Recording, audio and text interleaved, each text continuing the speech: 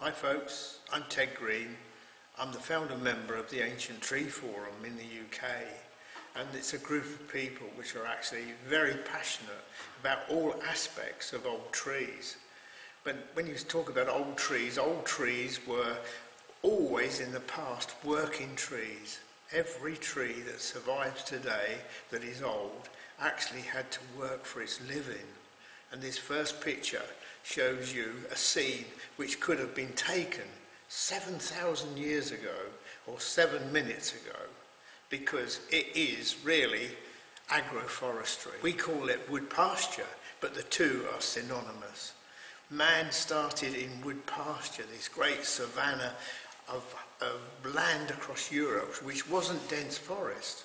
So, if you like, wood pasture then became agroforestry. So the two run together, and it's so important. Cows, animals, trees, working trees. Every tree has to work for a living. The next picture is showing you actually an old oak pollard which came out of a river in Britain and it's been carbon dated 3,400 years ago. And it's a pollard. In Britain we call them pollards, where the top is cut. And it was cut by man 3,400 years ago. And this is showing you one we found recently in a small wood in Britain.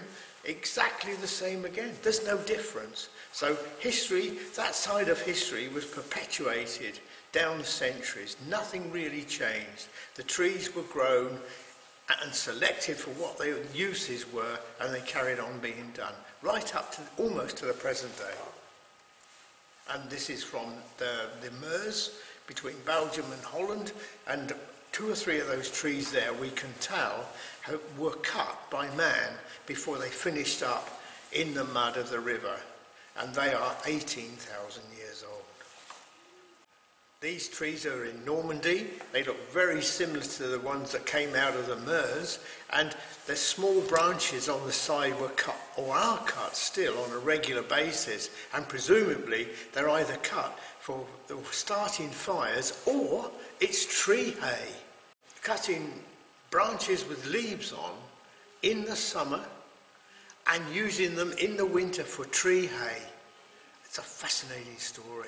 This picture shows you uh, a wooden tool which is 6,000 years old. It's got flints in the blade and look how similar it looks to a modern day saw. The people that found it, the archaeologists, say it was for cutting cereals and hay. But what's that knob doing? The knob reminds me, and the whole picture reminds me of a saw. They were cutting branches. Here are some sheep which have found a fallen limb and they go straight in and eat the vegetation. This is where I think man got the idea of tree hay. And there's one of my old friends. There she is into it, we call it Salix, a Salix bush. And she's found, got her neck over the branch, pulled it down and she's eating it. And in this case, I think the sallow is for medicine. She is self-medicating. Fascinating. That instinct is still there. And here, this is in Scotland, and you can see the ring of stones, which is where they kept the animals in the winter or at night. But the two trees are salix, and they're two pollards. And I'm sure the shepherds of that day knew that those trees would, were, could be used for medicine for the animals. And this is us starting new experiments or trying to relearn or reinvent the wheel again in the UK. And this is uh, Fraxinus, and we've cut some and hung them up to dry, as we thought was a traditional way of doing it. And there they are on a, on a, a horizontal limb, and they're going to be left to dry and put into bundles. What we did was, in fact, we learned that don't leave them there too long, and they should be in a tight bundle. And of course, any farmer will tell you when you store hay, it has to be very tight. So we got it wrong. There we are feeding the Exmoor ponies in the winter. And there you go, the cows have found it. And they can't wait to get in to, to feed on these, we call them faggots in Britain. Cows again eating them. And if you look at that, that, that those cut branches there are probably six, seven months old, and as you can see, some of them are still green. They've retained the green greenness. This is an area where I'd like to explore. It shows some green islands on the leaf. And these green islands are caused, in this case, by a disease. And what the disease does during its life cycle, it actually inhibits the tree's manufacturing minerals and nutrients and sugars, but it inhibits them, uh, allowing the tree to take them back to itself. It stores them in these green islands. So in actual fact, at the end of the year, when the, the tree starts to withdraw all its resources, autumn, uh, the fungus stops it happening. And these minerals and nutrients and trace elements are trapped in those green islands. There you go. There's a cow. You can actually see her tongue, and she's seeking out these, these leaves on the ground with green islands. That's instinct. That goes right back to day one. And we're missing a trick because what's in those minerals and what's trapped in those trace elements? Are they a fundamental part of, of a, an animal's diet? Which we've taken away, or we can restore, of course. And there's a selection of different species of leaves showing the, um, the green islands. This picture is in Norway of some pollard trees, where there's been a bit experiment on pollard trees in a herbage meadow, a herbage meadow without pollard trees, and an, and an improved grassland. And they looked at the, the, the nutrient values of those three sites. And the best one was, of course, the one with the pollard trees on, because presumably the years that the trees aren't being pollard in, they are producing leaves which go down into the ground, get recycled in the mineral and nutrient recycling.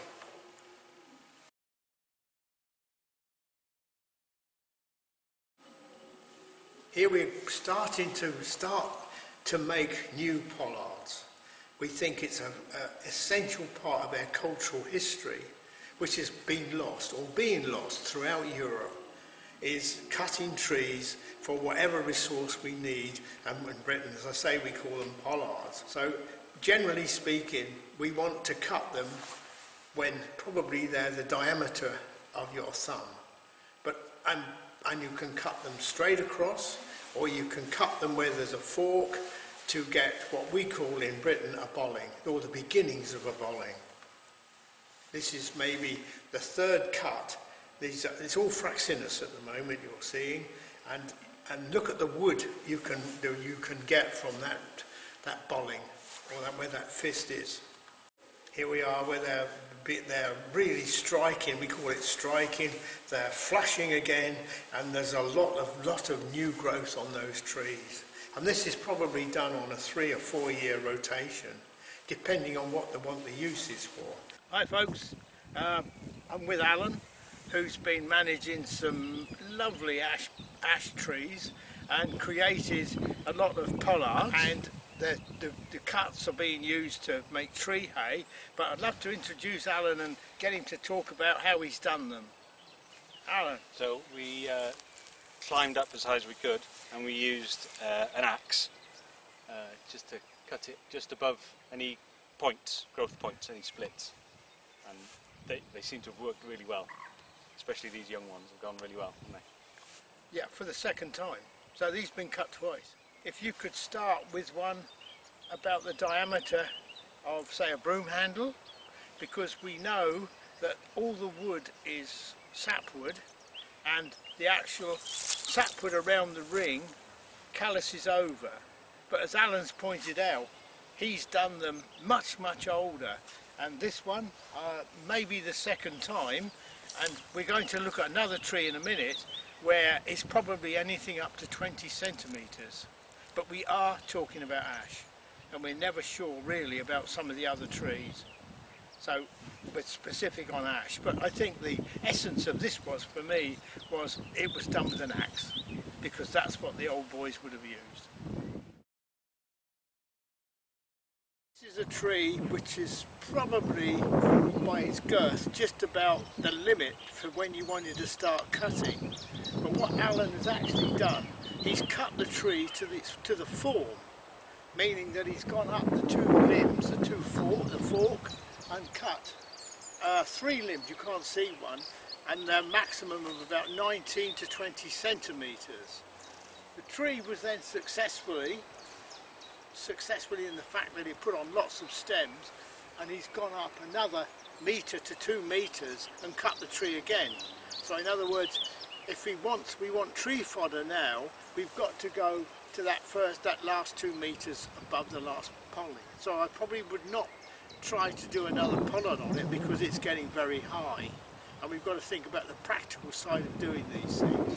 But it's a, a brilliant tree and a brilliant example of, of what, what people can do to get tree hay and equally at the same time at some stage he's going to get some limbs of a decent size which he can use for all sorts of things fence posts wood fuel anything. So he's, he's getting more than one use from this tree.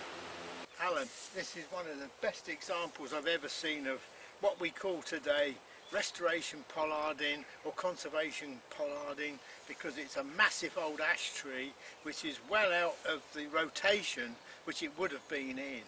Can, can you can you just describe what they actually did here because it's absolutely brilliant. Yeah, it was a lovely old pollard and it was so old it was starting to pull itself apart. And we got the tree surgeon to take the weight off of the, those long branches and it's now sprouted and it's survived. We did that five years ago. Wow. So a serious, serious example of what we want, how we want to manage our old trees. This is this is cultural history. It's, it's a landscape tree, yes, but it's so much part of their culture. It dates right back, right back to early man.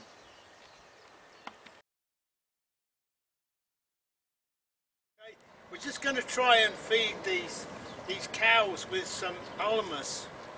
I mean, it's, it's a bit early in the year to use it, but it's a, just an illustration of what, what they love.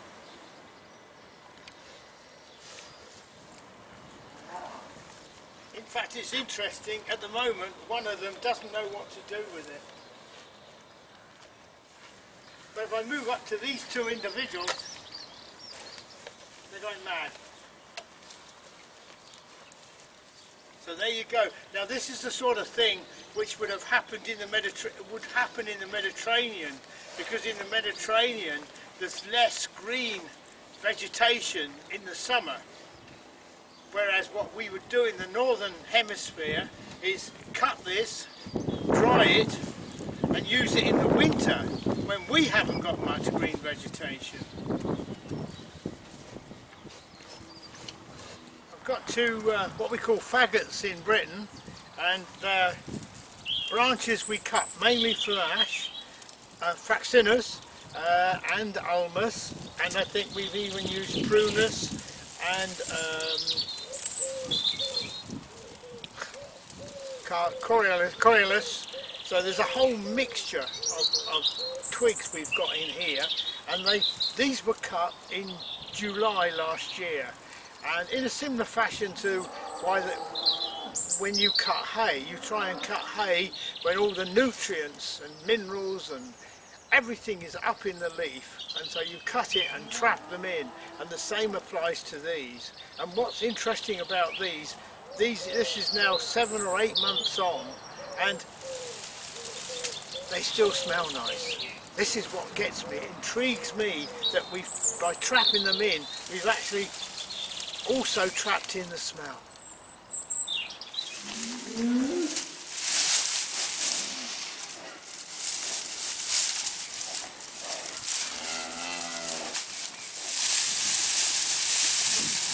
But please note, some of this, eight, nine months after we cut it, is still green.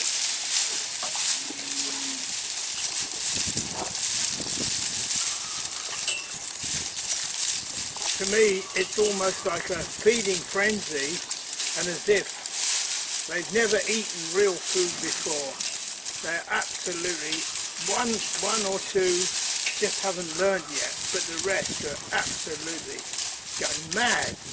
And again, interestingly, because they're more interested in this dried material than they were in the fresh, which we gave them a few seconds ago. And two of them in particular absolutely love it. So they've still got that hereditary gene bank.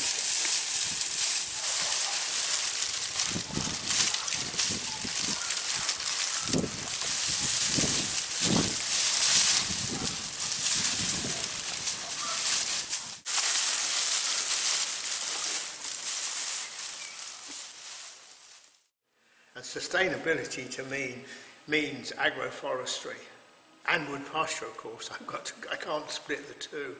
But it's a system which has probably been in practice since man stood up. And the one thing that it does provide is a biological continuity. Because very little of it's changed. It's basically the same animals. It's man's changed a bit, but it's the same. The whole system is basically the same. We may think we've improved upon it, but in actual fact, it's still sustainable.